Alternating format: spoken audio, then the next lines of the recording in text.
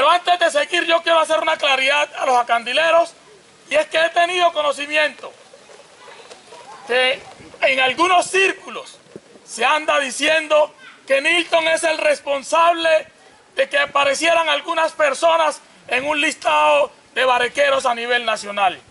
¿Qué tamaña mentira? Jamás he tenido alguna cosa que ver en esas circunstancias. Y no siquiera conozco a una persona que esté en ese listado. Yo me considero una persona responsable y así lo han dicho mis actos y no tendría por qué incurrir en ese tipo de actitud o yo diría de irresponsabilidad. A quienes andan pregonando esa situación, les pido el favor que no utilicen mi nombre para hacer su campaña política o querer minimizar mis efectos políticos, porque no es la forma como se debe convencer al pueblo.